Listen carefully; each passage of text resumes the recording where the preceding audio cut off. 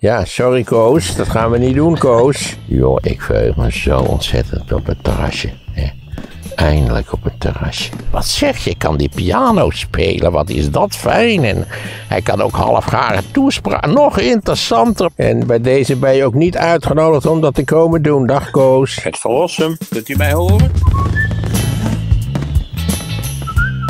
Het jaaroverzicht 2021 van Maarten van Rossum, de podcast, dat is eh, verreweg van compleet. Maar het bevat wel alle spraakmakende fragmenten van dit jaar. Met natuurlijk zometeen de BBB-mevrouw. Het fragment met Koos, maar we beginnen met corona. Want Hugo de Jonge, die kwam het afgelopen jaar ook regelmatig voorbij. Als ik in de tussentijd ergens op wat voor manier dan ook besmet raak, dan is Hugo de Jonge verantwoordelijk voor mijn vroege dood. In het voorjaar is Maarten aan de beurt voor een vaccin. En hij vertelt dan in de podcast hoe dat gaat. Ehm, heb je al een brief gekregen of een uitnodiging? Voor, eh, je bedoelt voor de, te- voor de televisie of zo? Nee, voor. eh, nou, ja, ik durf het bijna niet te zeggen. Oh, dat is interessant. Ja, nee, nee. Ik heb ondertussen een afspraak gemaakt voor vaccinatie. Ja, dat wilde ik van mijzelf en mijn vrouw. En het is een hoogst interessant verhaal. Wat nog eens nader aanpunt wat een waardeloze, totaal chaotische organisatie het eigenlijk is. Oh, Om te beginnen, nee, ik heb geen post gehad, helemaal niks. Ik heb ook geen mail gehad dat ik opgeroepen word of ergens heen moet. telefoontje. Niets van dat, niets van dat al. Telefoon, niets van dat al. Geen enkel bericht van onze overheid heeft mij bereikt. Maar via, via, via een kennis die zei, weet je wat je moet doen? Je moet 0800 70 70 bellen. En dan moet je proberen een afspraak te maken. Dus dat heb ik gedaan. Ik heb nog een paar dagen gewacht, maar af, afgelopen maandag dacht ik, ik bel eens even. Dus ik bel 0800 70 70. Verrassenderwijs komt daar vrij snel iemand aan de telefoon na de bekende kletspraat over dat je op één moet drukken of op twee om Engels te horen en nog wat van die dingen meer. En dat het gesprek voor, voor onderzoeksdoeleinden kan worden opgenomen. Goed, dat is allemaal achter de rug. Dus ik vraag aan de jonge vrouw, eh, ik wil graag een afspraak maken voor vaccinatie. Waarop ze zei, ja, hoe oud bent u? Nou, ik zei, ik ben 77. Nou, zei ze, u bent nog lang niet aan de beurt. Dat kan echt niet. We zijn nu bezig met de 79-jarige. En, eh, nee, u zult, eh, u zult toch zeker nog een week of ik weet, twee weken, ik weet niet precies wat ze zei, maar ik moest nog een tijd wachten. Nou ja, dat was natuurlijk licht teleurstellend. Dus, eh, maar de, degene die mij had getipt over het bellen had gezegd: je moet gewoon blijven bellen. Dat, dat kan vaak helpen. Dus ik belde de volgende dag of twee dagen later. Ik kreeg een totaal andere jonge vrouw aan de telefoon. Die zei: Jazeker, u kunt een afspraak maken. Dat is helemaal geen probleem. Nou, zo goed, zo gezegd, zo gedaan. Heeft u uw burgerservice nummer bij de hand? Nou, het mijne wel, maar dat van mijn vrouw had ik ongelukkig niet bij de hand. Dus ik zei, nou, ik leg even neer, ik bel over tien minuten weer, kunnen we een afspraak maken. Ik ben terwijl tien minuten later weer, dus we hebben... En ik krijg er weer een nieuwe persoon aan de lijn. Een jonge vrouw, evident. Dus ik zei, ja, ik bel voor afspraak, Ik had net uw collega... Nee, u kunt helemaal geen afspraak maken, want u, u bent nog helemaal niet aan de beurt. Dat kan nog wel even duren. Dus dat, dat kan echt niet. Ik denk, nou ja, dit is toch wel de absolute limit, nietwaar? Dus ik denk, ik bel gewoon over een kwartier weer. Dus ik belde weer. Een kwartier later, ik krijg nu een jonge man aan de lijn. Duurde even voordat hij aan de lijn kwam, maar hij kwam aan de lijn.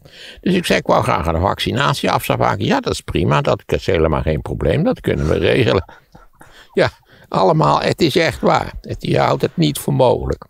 Nou goed, ik, dus wij, ik be- begin met die opsomming. Hoe oud bent u? Wordt u dit jaar 78? Daar volgt hij nog wel en nog wat dingetjes meer. Ik zei, wanneer gaat dat dan gebeuren? Ja, in Utrecht moet u zes weken wachten. Nou ja, ik had al gehoord dat je vervolgens op de tweede prik vier weken moet wachten. Dus dat is opgeteld bij elkaar tien weken. Dus ja, ik, nou, ik heb me niet, niet echt fatsoenlijk uitgedrukt. Ik was ontzettend boos. Waarop hij op zichzelf heel kalm bleef. Zei, oh, meneer Van dan kijken we even of u in Houten gevaccineerd kan worden. Wacht een momentje. Dus ja, Nee, Houten zit ook al helemaal vol. Dan moet u wachten tot eh, 2025. Dus dat gaan we niet doen. Maar eh, we gaan verder naar het oosten. Eh, Driebergen gaan we even. En waar, ratje? In Driebergen kan ik gevaccineerd worden. Het is vandaag vrijdag over twee weken. Oh, dat is best. En vier weken later voor de tweede prik, ook voor mijn vrouw. Oké, dus zes weken in totaal. Zes weken, daar is mee te leven. Wij hadden natuurlijk gedacht, naïef, optimistisch, eh, dat dat eh, waarschijnlijk, als het dan toch kan, eh, volgende week wel zou kunnen. Maar dat is nou, zes weken wachten in Utrecht. Een beetje ongeveer hoe het zit. Maar wel goed nieuws nu. Want is Op het... zichzelf heb ik goed nieuws in die zin dat ik per 30 april, want dat is de tweede prik, zou ik in principe dus eh, beschermd moeten zijn. Ja. Nou ja, het is Pfizer. Dat wordt er allemaal bijgezet in de, in de... Vervolgens krijgen we allerlei mail en zo. Ja joh, dat je het hemd van het lijf gevraagd. Ehm, en dat beschermt, nou wat is het, ik geloof eh, 94 procent of zo. Ja. Maar je moest dus zelf proactief, moest jij bellen om deze afspraak Ja, te als maken. die kennis niet had, mij had getipt, had ze gezegd van, joh, je moet gewoon bellen. En dan schijnt het mogelijk te zijn, dat had hij ook weer gehoord weer van andere mensen, 0800 70 70. Ik zeg het nog maar even voor de luisteraars. En vooral van mijn leeftijd. U moet niet bellen als u, als u 59 bent, want dan heeft u weinig kans natuurlijk. Maar laat u ook niet afschrikken door die personen die zeggen dat dat nog niet kan. Want dan moet u gewoon een kwartier later bellen en krijgt u een andere persoon die zegt dat het wel kan. Dat is het leuke van de zaak. Maar het is dus zo. Wat vind je daar nou van als je dit meemaakt? Nou ja, het is natuurlijk beschamend uiteindelijk. Stel voor dat je bij dat, na dat eerste telefoontje van een jonge vrouw die heel zelfverzekerd zegt: Nee, u bent nog helemaal niet aan de beurt. U moet nog wel een volgende week. Nou, dat weet ik niet eens zeker. Misschien een week daarna. Maar dat werkt. Op zichzelf bleek dat uiteindelijk natuurlijk toch het geval te zijn. Want de, de, de afspraak kon ook pas over twee weken worden gemaakt. Maar goed, laat u dus niet afschrikken door degene die die telefoon opnemen. Die zijn kennelijk Ja. in allerlei opzichten slecht geïnstrueerd. Waar ik nu wel benieuwd naar Want ik heb nog steeds helemaal geen post Nee, ontvangen. exact, dat vraag ik me dus geen af. mail ontvangen. Ik ben niet getelefoneerd. Zou dat nog kunnen komen? Dat, want dan is dat het helemaal een schijnt, dat chaos. schijnt wel zo te zijn. Dan ja. krijg je vier keer een prik. Ja, ja, ik heb ook wel verhalen van mensen uit Amsterdam.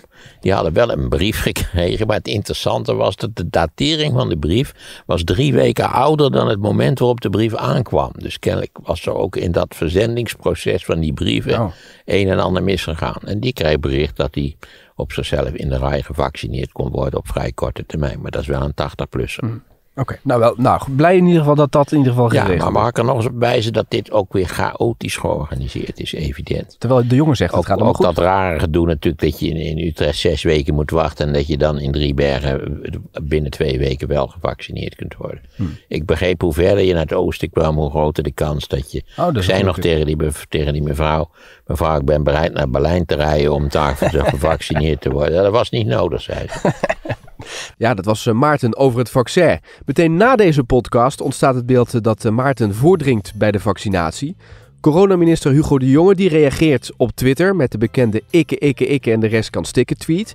En ook premier Mark Rutte, die dat weekend te gast is bij WNL, reageert. Dat er ophef is over Maarten van Rossum, de nationale knorrenpot, krijgt het voor elkaar om voor te dringen en zich eerder te laten vaccineren, terwijl hij eigenlijk nog niet aan de beurt was.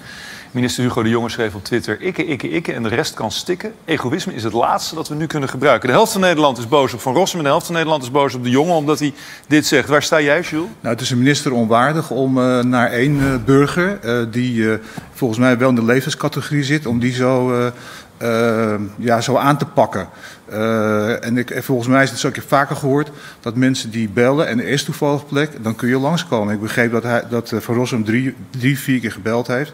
Dus ik, eh, ik vind het een minister onwaardig. Minister onwaardig. Ik zou het fatsoenlijk vinden dat mensen wachten op de uitnodiging. Want wat is nou het punt? Ja, Van Rossum zit in die leeftijdsgroep. Dus die krijgt zonder twijfel die uitnodiging. Maar als iedereen dan vervolgens zelf gaat zitten bellen. dan krijg je natuurlijk een enorm gedoe ook bij de GGD's en bij de huisartsen. Dus wacht nou gewoon op je beurt. Eh, wij zijn waarschijnlijk ook nog niet hier geprikt. eh, en als je op een gegeven moment aan de beurt bent, dan gaat het vanzelf. Maar het kabinet is toch wel geprikt, lijkt me? Nee, zeker niet. Wij gaan niet voordringen. Nee hoor. Nee, nee. Ik eh, ben gisteren nog weer met zo'n ding in mijn neus. U bent niet geprikt. Nee. Dat geldt ook voor de koning en de koningin bijvoorbeeld. Daar kan ik niks over zeggen, maar ik neem aan van niet. Ik neem aan van niet, tenzij ze in een doelgroep zouden vallen. Maar volgens mij hebben ze een goede gezondheid, dus dat denk ik niet. Dat was Mark Rutte in gesprek met Rick Nieman bij WNL. Een week na alle ophef reageert Maarten in de podcast op wat er allemaal gebeurd is. Ja, wat vond ik daarvan? Ik was totaal verrast. We hadden dat vorige week vrijdag, precies een week geleden, had ik dat nogal komische verhaal verteld van het kon wel, het kon niet, het kon wel, het kon niet. Wat, wat toch vrij komisch was. Zonder dat ik ook maar in de verste verte had verwacht wat het effect zou zijn. Dus ik stond de volgende dag op. Ik ging achter mijn bureau zitten. Nou ja, ik geloof dat ik 35 keer gebeld ben door alle media. Tot, eh, die is nou, ik geloof dat de enige die niet gebeld heeft was Omroep Friesland, bij wijze van spreken. het was ongelooflijk, werkelijk. En of ik dat uit wou komen leggen enzovoort. Nou, ik ben het gaan uitleggen. had ik trouwens moeite genoeg om het überhaupt het verhaaltje even af te maken. Wat ik ook wel weer vrij typisch vond. En dan toch iemand vraagt om het uit te leggen en te vertellen. Laat het hem dan ook vertellen. In plaats van al halverwege zo'n indruk te maken. Nou, dat is wel mooi. We weten het nu zoals een beetje. En nou, Want je had een afspraak gemaakt van ik kom, het, ik kom, maar dan wil ik wel het hele verhaal vertellen. ja, zeker. Dat had ik gemaakt. Dat meerdere malen met de redactie. Ik was nog in halverwege met dat verhaaltje. En ik had nog maar in twee minuten bezig. Of ik zag al dat even de presentatoren dacht, dit gaat lang duren. Ja, dat gaan we helemaal niet doen. We hebben hier toevallig 38 verschillende politici uitgenodigd. met een heel ingewikkeld eh, verhaal. Want die gingen elkaar vragen stellen. Nou ja, enzovoort, enzovoort. Zodat ik vrij onaangenaam moest zijn. En zeggen, ja, sorry, jullie hebben dat afgesproken. Ik ga ermee door. De hele, hele, het hele item was geloof ik 4,5 minuten. Maar waarom had je die afspraak gemaakt? Nou, omdat ik wel enige ervaring heb met het zitten in televisieprogramma's en met het onderbroken worden in televisieprogramma's. Want je weet, op de school voor presentatoren van talkshows, daar wordt geleerd, dames en heren, de allereerste wet van de talkshow is dat zodra u het gevoel heeft dat de spreker die aan het woord is bij een komma is gekomen, ga er meteen in en, en, en geef iemand anders het woord. Want het moet wel een beetje levendig, flitsend, direct, bla bla bla zijn. Ja, dat wist ik. Dus ik dacht, ik ga dit wel regelen. En dacht, ik dacht dat ik het goed geregeld had. Denk erom, ik vertel het hele op zichzelf heel korte verhaal. Het was helemaal geen item van een kwartier of tien minuten of zo. Ik heb overigens al die tijd heb ik achter, hoe heet het, gezeten, achter Van der Staaij. Tijdje althans. Die man die had toch wel zulke ongelooflijk elegante schoenen aan. Ja, ja. Dat- Ja, die had, had donkerblauwe eh, suède schoenen aan. Had hij van Hugo geleend Met gespen. Nee, veel deftiger dan Hugo's schoenen. Terwijl ik dacht, ja, zo iemand moet toch orthodox-christelijke kistjes hebben. Helemaal zwart en elke dag opnieuw gepoetst door de bezitter. Maar nee, dit was echt... dit was topwerk hoor, wat die van de staai aan had. Ik was enorm... Ja, je zit daar, je moet wat. Dus je hersens die draaien maar een beetje door. Dus ik dacht, nou, die van de staai. Ja, Wel een schoen, ik zou ze niet aandurven, eerlijk gezegd. ja. En je hebt toen ook nog geagendeerd, want Hugo had natuurlijk zaterdag een tweet van, eh, dat was wel een opmerkelijke tweet toch? de hele, hele, oorzaak van de immense ophef die was ontstaan, dat was natuurlijk dat eh de jongen de gelegenheid had gekregen of de gelegenheid had aangegrepen om te zeggen dat ik een vuile voordringer was en dat schandelijk. en Hij deugde niet, zei hij. beschamend, ik deugde niet enzovoort. En nou ja, het was zonneklaar dat ik gewoon aan de beurt was, maar dat ik de uitnodiging niet had ontvangen. Ik ben ondertussen ben ik benaderd door tal van bejaarden die mij sympathieke mails hebben gestuurd met via de Maarten-redactie deels. Eh, dat zij precies dezelfde zonderlinge avonturen hadden beleefd, namelijk dat je wel aan de beurt bent, maar niet bent uitgenodigd. En een van de bejaarden die vermeldde nog, ik was dat zelf alweer vergeten, dat bij de allereerste verhalen van de overheid over deze nieuwe scheepbaas, de overheid had gezegd dat je ook van harte werd uitgenodigd om zelf te bellen om je afspraak te maken. Oh, oké. Maar dat was Hugo vergeten. We komen nu aan het springende punt dat Hugo de Jonge klaarblijkelijk niet de flauwste idee heeft hoe dit proces zich op de werkvloer afspeelt. 0,0. Mijn advies is, Hugo mag nu de deur niet uit, want hij is in quarantaine geraakt.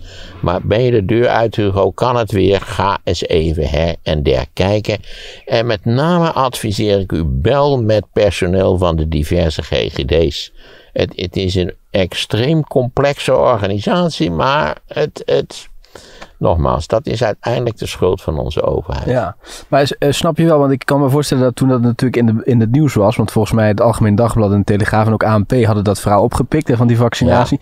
Dus eh, die hebben toen ook de GGD gebeld en die dachten natuurlijk, ja, we moeten nu Ja, reageren. de landelijke GGD had gezegd, was schandelijk. Ja, want anders gaat iedereen natuurlijk Ja, bellen net als even, ik ben door de lokale GGD gebeld. De alleraardigste mevrouw die zei, wij willen toch wel duidelijk maken dat we het daar helemaal niet mee eens waren met die, met die uitspraken van de landelijke GGD. U was gewoon aan de beurt. Er was helemaal niets mis met uw telefonische Oké, dus de landelijke GGD zei schande, maar de Ja. lokale VV eh, GGD zei... begrijp, de landelijke GGD die schoot uit de heup. Hè. Dat zijn de Clint Eastwoods van het vaccinatieprogramma. Eh, en die, die, die dachten, ja, we staan achter onze minister. En, maar goed, die hadden niet voor hun beurt moeten spreken.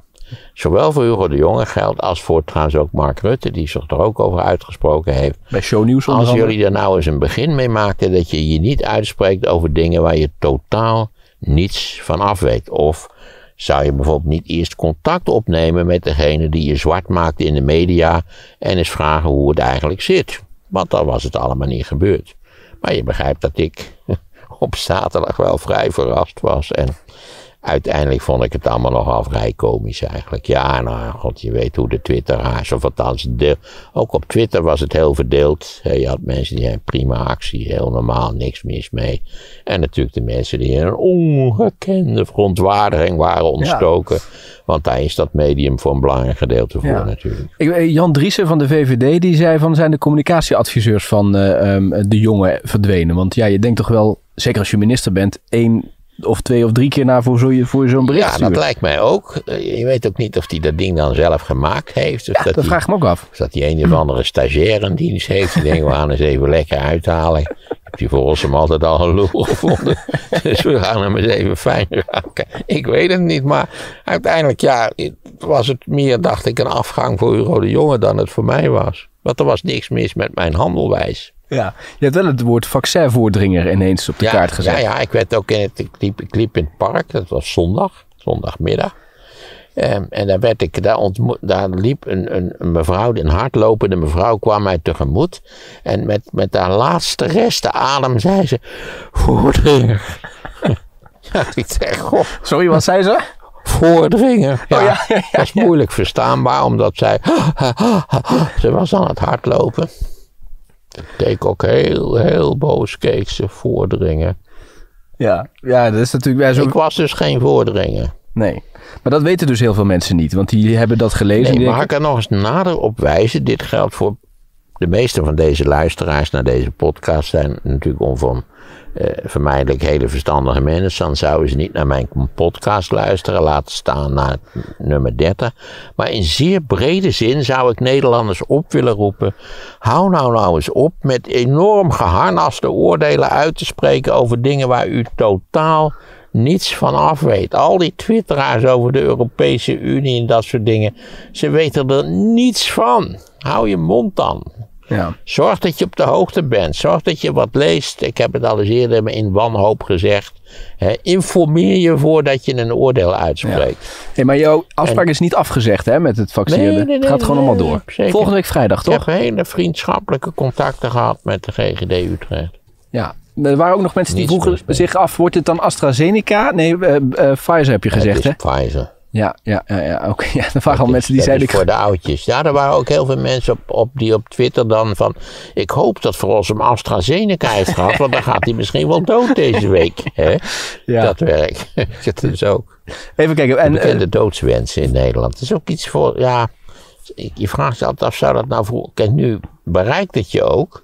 Maar vroeger waren er misschien ook wel massa's mensen die je dood wensten. Ik Ja. heb geen idee.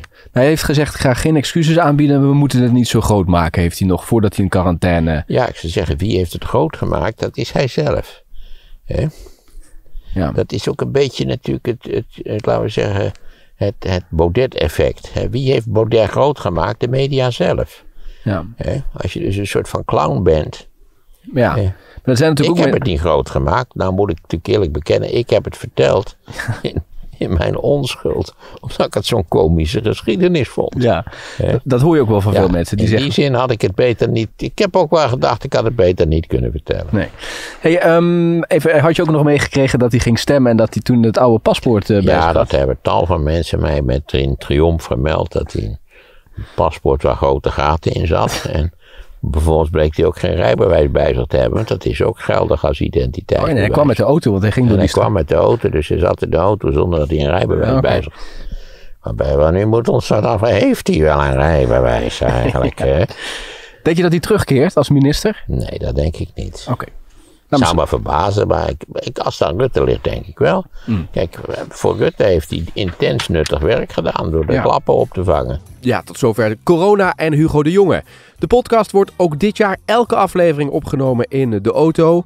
En dat zorgt soms voor wat geluidsoverlast. Zeker als er bij Maarten in de straat gewerkt wordt. Ehm, daar komt hij weer. Ja. De quota probeert nu weer op te stijgen aan het eind van de straat. Nee, ik kan wel eventjes, dan moet je even doorpraten. Ik kan wel eventjes verder rijden. En dan kunnen we even kijken of er een plek is waar het wat rustiger is. Dat kan wel. Dan kun jij ondertussen doorvertellen over ehm, eh, Bill Clinton. Bill Clinton. Ja, dat kunnen we wel even doen. Ja, het wordt wel tijd dat we iets over Bill Clinton gaan zeggen. Even kijken. Nou, ik wacht even, want je monteert dit toch een beetje, toch? Ja, het, het wordt wel gemonteerd. Maar eh, kijk, als jij, eh, als jij ondertussen doorpraat, kunnen we de tijd efficiënt besteden natuurlijk. En de vraag is of er nog ergens een plekje vrij is, eh, ergens in de Nou wijk. ja, dat maakt niet uit. Je moet, ergens zal toch in de buurt wel een plekje zijn. Even kijken, jij kent de wijk hier het beste. Is in dit... je- daar zie je een plek als je daar achterin in kunt. Oh nee, Oh. dat is te dicht bij de Dakota. Doe maar niet. Oh, ja. Rij maar even naar links. Naar links, oké. En Zo. Kijk, hier komt nog zo'n grote auto. Het is ongelooflijk zeg. Ja. En er zit, er zit een, een, een, dit is een Mercedes, maar van dezelfde hilarische afmetingen als die, als die Q7. Ik weet niet hoe deze Mercedes heet. Kijk, hier kunnen we hartstikke mooi staan. Oh, hier is een mooie plek. Ja, dit is perfect. Zo. Kijk, hier is het veel rustiger. Zo. Ja, ja, dit dit scheelt toch wel, vind ik hoor. Ja, Jongen, Ja. jongen. ja, zo. Oh, ik kan hem hier zo langs de stoep zetten. Zo, prima. Kijk, dit is perfect. Geweldig, dit is ideaal. Nou, dit is dus het juiste moment om het even te hebben over Bill Clinton. In het voorjaar gaan na lange tijd de terrasjes weer open. En Maarten zou Maarten niet zijn om ook daar eventjes bij stil te staan. Ik wil straks ook nog even iets zeggen over de terrassen. Ik wist helemaal niet dat het terras was opgerukt naar het centrum van de westerse beschaving. En dat als je niet twintig uur per week op het terras kunt zitten, dat echt, dan kun je je net zo goed verhangen. Dat is zoiets verschrikkelijks. Dat is zoiets ergs als je niet, niet dagelijks toch. Nou, ik vind anderhalf uur terras is wel het absolute minimum natuurlijk. Ook met dit weer kan niet verdomme al omweert het en slagregen. Je moet op het terras zitten, want dat is echt van wezenlijke betekenis. Ook allerlei serieuze kranten hebben dit soort van onbeschrijfelijke lulkoek verkocht. Ik, ik geef niets om terrassen. Zie, wat doe je daar? Je zit je de takken te vervelen op het terras. Hè? Een terrasje pikken. Oh, het is echt. Ik, ik wist helemaal niet, eh, nou deze hele culturele ontwikkeling is volledig aan mij voorbij gegaan. Dat een mens eigenlijk zonder, zonder terras zitten geen mens is. Dat, dat, dat net is of je, of je geamputeerd bent. Of dat je frontale lobotomie hebt ondergaan als je niet op zo'n terras hebt gezeten. Ze zaten net, kwam op de hoek bij jou, zaten ze alweer aan het bier. Het is nu één uur geweest. Ja, kennelijk. eh, ja. Nou ja, kijk, bier, dat is dan nog weer iets anders. De bier is uiteindelijk, als je maar genoeg bier drinkt, ook een verdovend middel.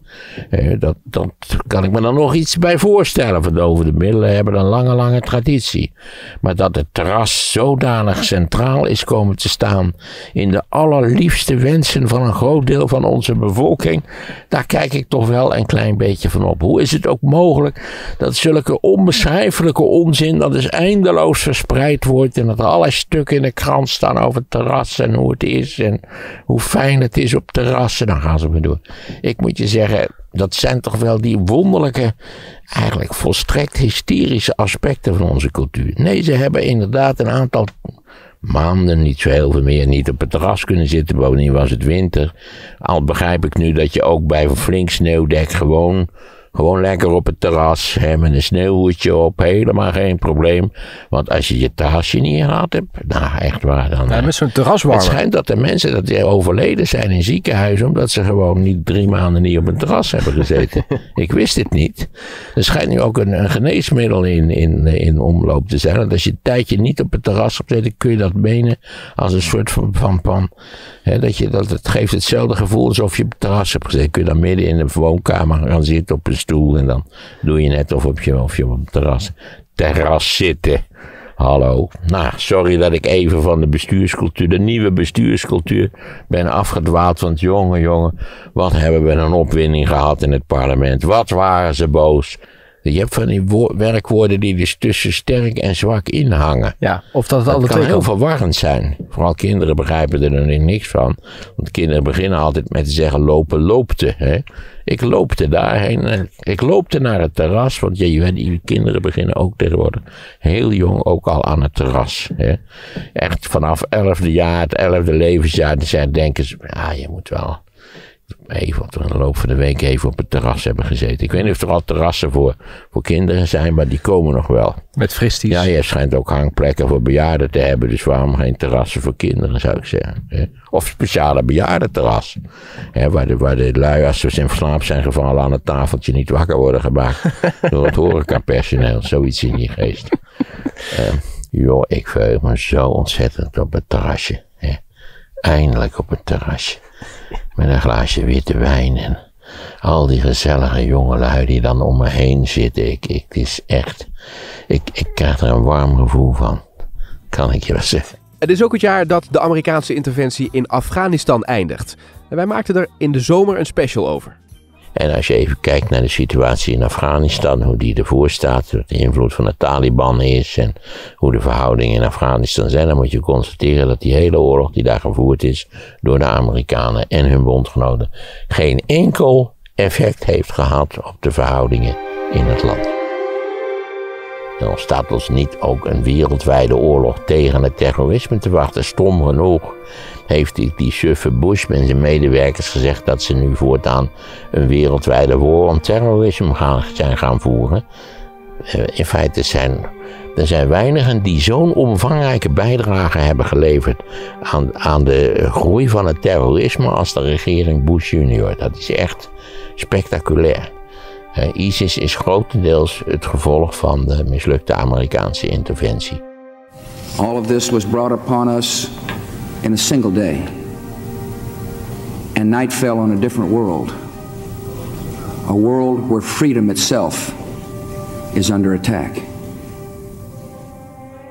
Nee, het is dat die war on terrorism. Want dat moet je heel anders bestrijden. Dat moet je doen door politiemaatregelen en eventueel eh, eh, in, in informatieverzameling, geheime diensten. Maar niet, niet door B-52's enorme bommenlasten te laten afwerpen op. Kijk, als de Amerikanen één ding kunnen, dan is het magnifiek bombarderen op elke denkbare plaats op deze planeet. Waar ze dat zouden willen binnen relatief zeer korte tijd. Maar met bombarderen los je gewoon heel weinig op. Als je toch kijkt naar, naar wat de Amerikanen eh, na de Tweede Wereldoorlog aan interventiepolitiek hebben gevoerd, daar word je niet vrolijk van. Er wordt ook een beetje door de media de suggestie gewekt dat die, dat die Taliban een soort buitenlandse troepen zijn die nu zo'n heerlijk westers land en Deense democratie komen overweldigen met hun akelige islamitische overtuiging. Ja, ik kan je zweren dat die Taliban dat dat allemaal gewoon doodgewone Afghanen zijn. Ja, er is ook in, in Afghanistan een omvangrijk platteland waar nog steeds 70 of 80 procent van de bevolking woont. En ja, die, die zijn in het algemeen ook geïnspireerd door de islam. Dat zijn, in alle, nou ja, dat zijn die lui die in die, in, die, in die modderige huizen wonen. Die je nog wel eens ziet uit de lucht in dat enorme bruine land.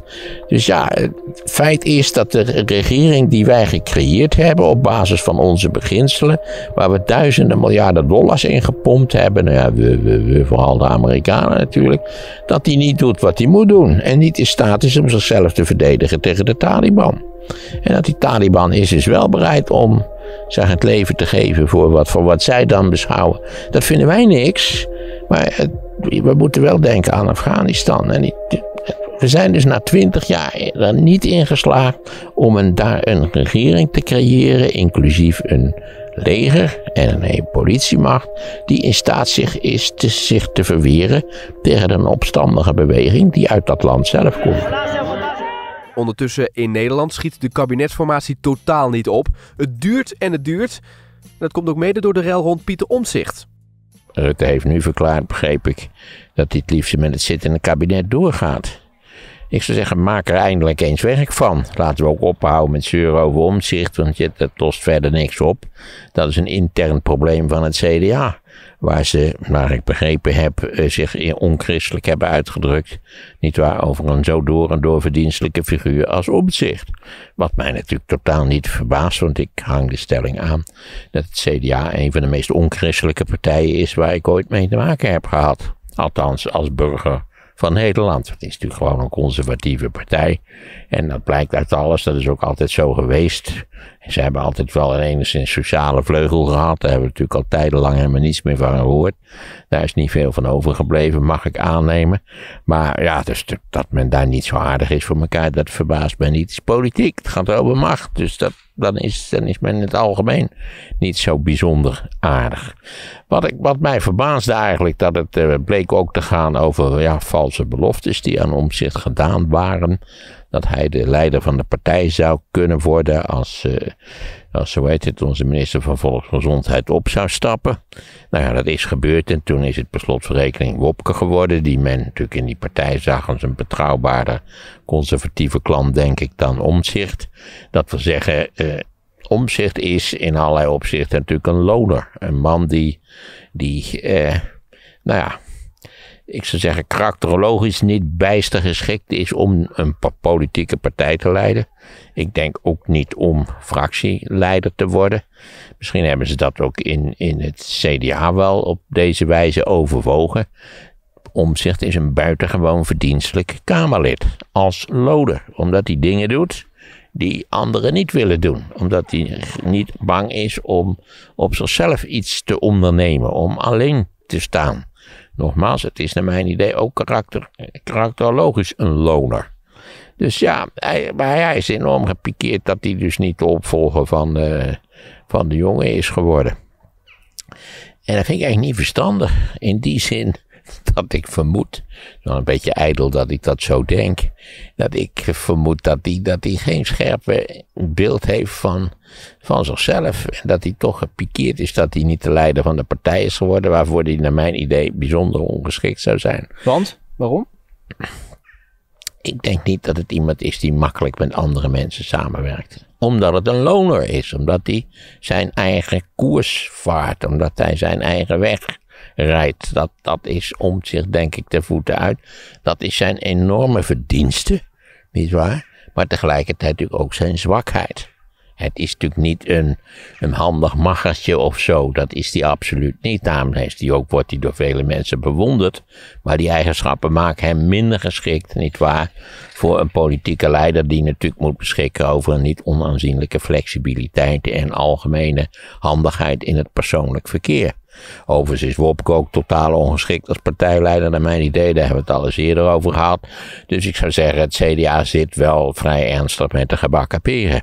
Ze zullen dit probleem op moeten lossen. Ze willen natuurlijk toch graag in dat kabinet gaan zitten. Wopke wil denk ik tot elke prijs uh, weer minister van Financiën worden. Al heeft hij ook niet zo erg goed opgelet als minister van Financiën, begreep ik. Maar ik vind wel, kom op jongens, doe iets aan die formatie. Hou op met dit suffige hakketak, deze, dit, dit hele toneelstuk van lulligheid en, en machteloosheid. Zet er een beetje vaart achter. Overigens, de Nederlandse economie, voor zover ik dat kan zien als ik mij op de weg begeef met de automobiel. Daar is niks aan mis. Volgens mij draait de Nederlandse economie als een tierenlier, eerlijk gezegd. Dus herstelplannen moeten dan maar bijzonder gericht zijn op specifieke sectoren. Maar het is niet zo dat de, dat de Nederlandse economie op apengapen ligt. Nee, na, die heb ik ook niet. na een COVID-jaar. Dus dat valt dan alweer mee. Maar goed, maak er vaart mee in Den Haag. Doe niet zo suf. Maak toch een ontzettend suffe indruk, als ik zo vrij mag zijn. Ja. Nou ja, en dan Hak de knoop door. Hè, wil je niet met links? Oké, zeg dat dan duidelijk. Ga niet liggen marchanderen en zeurpieten. Hè. Maak een keus. Ga gewoon door met het kabinet wat er zit. Ja, dat zal D66 niet fijn vinden. Omdat je natuurlijk met de ChristenUnie kun je medisch-ethisch geen enkele kant op. Niet waar, die bewaken de, de heiligheid van het leven. Wat, wat dat dan ook precies mogen zijn. Want ja, daar blijft het altijd vrij duister. En het is een afgang dan wel voor Segers, die natuurlijk eh, flink op de trom heeft geslagen bij Rutte. Nou ja, dat, vandaar dat hij ook liever in de oppositie gaat. Ja, kijk, da, voor iedereen die flink op de trom heeft geslagen in verband met Rutte, voor, voor al die mensen is het een afgang. Dat heeft Jesse Klaver ook gedaan. Die Ja. zit er ook niet mee dat hij nu weer gewoon met, met Rutte wel best wil Dat regeren. Idem dito de Partij van de Arbeid trouwens. Dus dat, wat dat betreft. eh, Nee. maar goed, daar hebben we het uitgebreid over gehad. Dat was niet verstandig die avond. Dat, omdat men zich op sleeptouw heeft laten nemen door, door Geert Wilders. Ja. Even nog over omzicht. Want, eh, nou ja, goed, eh, alles laat ik zo zeggen, er zijn ingrediënten uh, aanwezig waardoor het ook uit elkaar zou kunnen vallen. Omzicht kan zeggen natuurlijk, hè, volgens mij is hij verantwoordelijk voor vijf zetels. Nou, ik, nou, ik begreep dat de Omzicht verantwoordelijk was voor 30% van alle stemmen die het CDA gekregen heeft. Maar laat Omzicht overigens ook, ja goed, die zit dan nu thuis, die is overspannen niet overspannen genoeg om een, om een soort van uh, omvangrijk boekwerk te, schrijven, nietwaar? Een soort van oorlog en vrede in het CDA, zal ik maar zeggen. Tolstoy zou zich er niet voor geschaamd hebben. Hè? Dus kom op, omzicht, ook jij moet gewoon even met de billen bloot. Wat wil je? Wil je door? Of zeg je nou, word toch liever commissaris van de Koningin in Overijssel, ik noem maar wat. Mijn, mijn indruk, maar goed, dat is gewoon een, beetje, een beetje natte vingerwerk, is dat omzet niet terugkomt. Dat is mijn, mijn indruk. Maar blijft hij wel binnen het CDA, denk je? Nou, als hij niet terugkomt, dan, nou, ik weet niet of hij zijn lidmaatschap opzegt, ja. Wat, wat, dat zegt ook niet zo verschrikkelijk veel natuurlijk. Nee. Uh, dan, uh, kijk, stapt hij eruit, dat zou natuurlijk wel een heel, heel besluit zijn. Maar je kunt zeggen, nou, ik zie het helemaal niet zitten met die partij, maar ik blijf gewoon slapend lid, heet dat geloof ik, toch? Ja. Dat kan. Dat kan. Ik zie hem niet terugkomen. Daar zou ik erg verbaasd over zijn. Laat staan als fractieleider, partijleider, minister van het een of ander. Dat zie ik niet gebeuren. Nee. Maarten geeft ook dit jaar weer geregeld advies in de podcast. Kijk eens op Wikipedia als je iets wilt weten over de geschiedenis. Zoek eens wat op. Lees eens wat, zijn bekende uitspraken. En ook voor de klusser heeft hij nog wel een advies. En hier ook, ook, maar goed, dat kan iedereen die in de stad woont, weet dat. Natuurlijk de gruwel, de verschrikkelijke gruwel van de zelfklusser. Hè? Namelijk iemand die elke zaterdag bezig is om zijn schuurtje, schuurtje op te lappen. Maar omdat hij natuurlijk elke zaterdag maar een uurtje de tijd heeft, duurt het een half jaar voordat hij dat klote schuurtje een beetje heeft gerepareerd. Dus ook hier wil ik mensen adviseren. Gebruikt u, belt u een vakman. Die doet het veel beter dan u het kan. U levert prutswerk af, ik ben ervan overtuigd. Niet waar? En hij doet het veel sneller, zodat al die mensen bij u in de buurt geen last hebben van het feit dat u een half uur, wat zeg ik, een half jaar aan dat stomme uh, schuurtje staat te klussen. Hou op met klussen. Maar dit is een soort u van kunt uw leven beter gebruiken. Sommige mensen vinden dat lekker ontspannend. Dan zijn ze niet goed snikken kan er verder ik kan er geen niks verstandigs over zeggen. Als je het ontspannend vindt om met een klopboord te werken, dan moet je naar een psychiater. Ja, maar dat hoor je toch ook van mensen die in de tuin aan het schoffelen zijn? Die zeggen ook van heerlijk. Ik doe ook nooit iets in de tuin. Ja, ik moet zeggen, ik kom uit een familie van tuinierders eerste klas. Mijn opa, mijn moeder, geweldige tuinierders. Maar ook dat heb ik. Ik ben zelf een groot voorstander van de, van de groei van een Amazone-oerwoudachtige tuin. dat je echt volledig de natuur zijn gang laat gaan. Dus ook trouwens voor de, voor de, de kleine beestjeswereld is dat een grote zegen. Niet spuiten met vergif. Niet overal steentjes op de vloer. Niet alles zo aangeharkt. Gewoon een lekkere, lekkere spontane rotzooi zoals de natuur zelf altijd produceert. Heb je een tuin hier? Ja, ik heb een voortuin en een achtertuin. Niet dat het overhoudt. Hè. Als je heel erg goed kunt spuren, dan uh, kun je van de achterdeur naar de, naar de muur spuren, bij wijze van spreken. Maar het, het is zijn tuinen tot wel. Wat natuurlijk in de stad al uh, betrekkelijk uniek gegeven is. Ja. Maar is dat een soort van. Ik ben ook geen tuinzitter, dus. Uh, oh, oké, dat scheelt. Maar is, is, dat wordt dus ook niet onderhouden? Nee, nou ja, dat wil zeggen de natuur. Ja, oké. ja, de grootste en meest positieve kracht die wij op deze planeet kennen, onderhoudt onze tuin. Ja. ja. Zowel voor als achter. Hmm. Vooral achter begint het echt heel indrukwekkend te worden. Zou me niet verbazen als ik in korte termijn een tapier in de tuin zag lopen. En Caroline van der Plas mag natuurlijk ook niet ontbreken in dit overzicht. Ook wel de BBB-mevrouw genoemd. Ook zij komt regelmatig voorbij. De BBB-mevrouw is vooral een media creatuur. Net zo goed als de media, wacht even, uh, Thierry Baudet groot gemaakt hebben. Wat zeg je, kan die piano spelen, wat is dat fijn. En hij kan ook halfgare toespraak, nog interessanter. Ja, die uitspraak van de mediacreatuur die Maarten deed in de podcast over de BBB-mevrouw, die leidt tot grote ophef. Een week later reageert hij daarop. Dat ik bang zou zijn voor Caroline van der Plas wat ik op zichzelf wel een vrij komisch idee vond, natuurlijk. dat ze hier met, een, met een, een, gevaarlijk wapen aan de voordeur zou komen om mij af te gaan tuigen. En ik geef toe, ze maakte een betrekkelijk solide indruk. Dus dat gevecht ga ik zeker verliezen.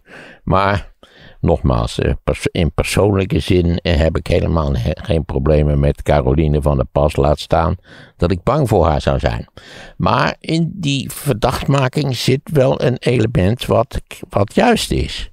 En dat is natuurlijk het feit dat in de vorm van Caroline van der Plas opnieuw weer eens een populistische held door de media te paard wordt geholpen. En eh, dat zie ik zelf op de lange termijn, als ik ook terugblik naar alle andere populistische helden die door de media te paard zijn geholpen, als een ernstige bedreiging van de parlementaire democratie, omdat het populisme in essentie een bedreiging is van de parlementaire democratie, want het populisme verlangt naar een plebiscitaire democratie met referenda en gekozen leiders en alle andere poppenkast die bij de plebiscitaire democratie behoort. Dus laten we nou toch nog even de lijst langslopen.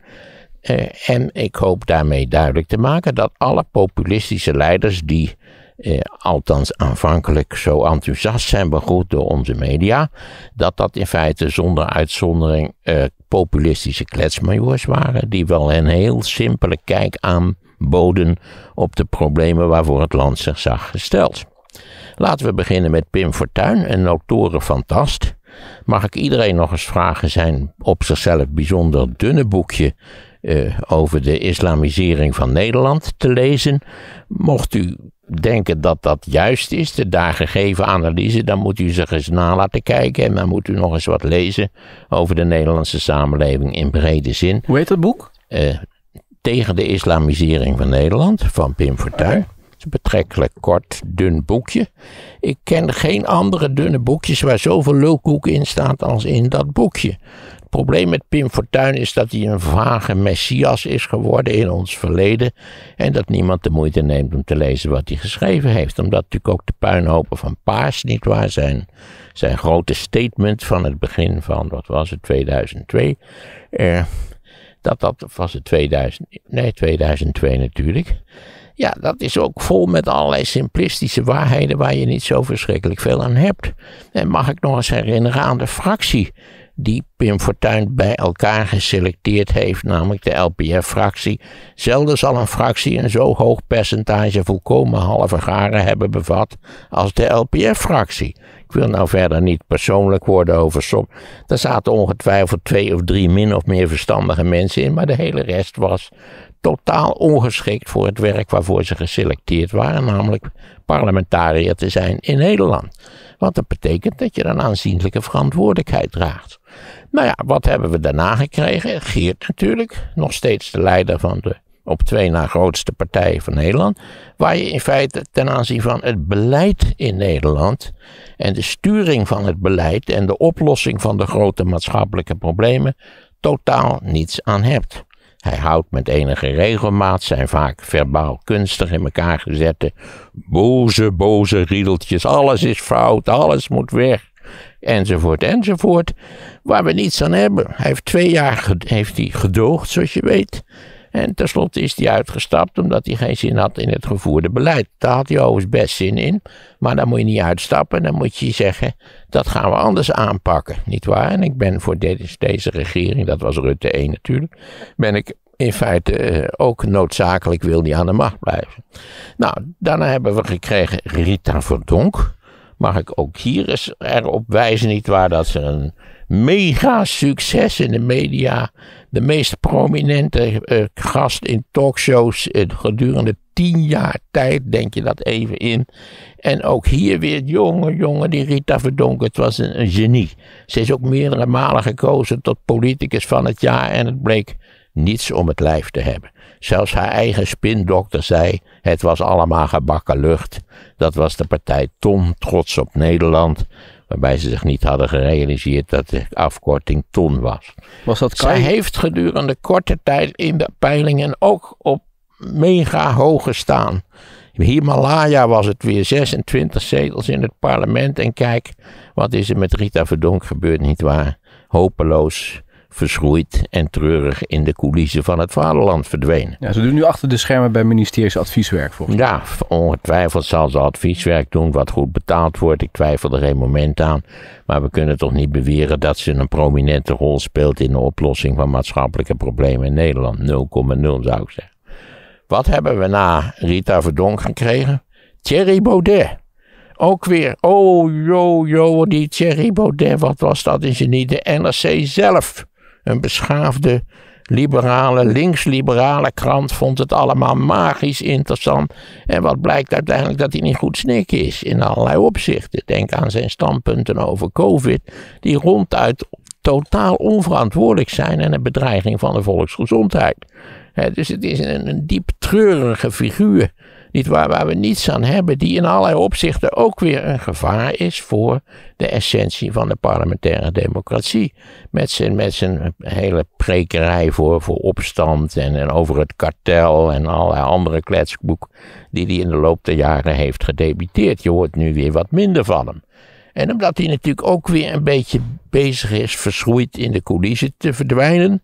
Wat klaarblijkelijk in allerlei opzichten het lot is van populistische leiders. Waarvan we eerst denken dat ze de messias zelf zijn. Oh jee. En verdomd, ze hebben weer een nieuwe Messias gevonden. Nu in de vorm van een, een substantiële vrouw van middelbare leeftijd. Die voor zover ik het kan zien. Vooral uh, uh, ten aanzien van de retoriek nogal opportunistisch uh, opereert. Die bovendien één zetel in de Kamer heeft. Waarom horen we permanent iets over Caroline van der Plas? Volt heeft drie zetels in de Kamers. Horen we daar iets over? Niets. Dat is namelijk een normale, verantwoordelijke partij.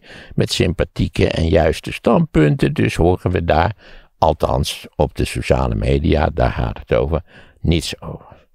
Nu wil ik al die mensen die dit zo prachtig vinden en die voortdurend in feite gecharmeerd zijn van de nieuwe, niet waar, Messias, die ook, ja, het woord Messias is natuurlijk voor een vrouw van middelbare leeftijd die op een paard zit, een vrij rare beschrijving, maar desalniettemin, ik denk wel dat je dat zo kunt doen. En waarom vind ik dat een bedreigend verschijnsel? Omdat overal waar de populisten werkelijk aan de macht komen, ik denk aan Polen, de PIS-partij, ik denk aan, aan de Fidesz-partij in Hongarije. Ik denk aan de AK-partij in Turkije. Ik denk uiteindelijk aan Poetin in Rusland. Overigens allemaal figuren, zoals je weet, die bewonderd worden door onze populisten. Trump. Eh, Trump, nietwaar, als sluitstuk van deze ongelukkige opsomming. Trump, ook weer iemand, nietwaar, een typische populist. Al die partijen, eenmaal aan de macht, zijn begonnen met het uitkleden van de parlementaire democratie. Met het afschaffen van de parlementaire democratie. Met de introductie van een plebiscitair politiek systeem wat in feite falikant tegen de ware democratie is. Het lijkt democratisch, maar het is het niet. Het is altijd de onderdrukking van een minderheid. Soms zelfs de onderdrukking van een meerderheid, omdat ze de systemen zo veranderen dat een minderheid in feite op illegitieme wijze aan de macht kan blijven. Dat is de reden dat ik bang ben voor Caroline van der Plas, de zoveelste held van populistisch rechts. En ik vertrouw populistisch rechtspolitiek voor geen cent. Ik ben ervan overtuigd dat ze ooit, als ze ooit in Nederland aan de macht zouden komen, dan is dat het einde van onze parlementaire democratie.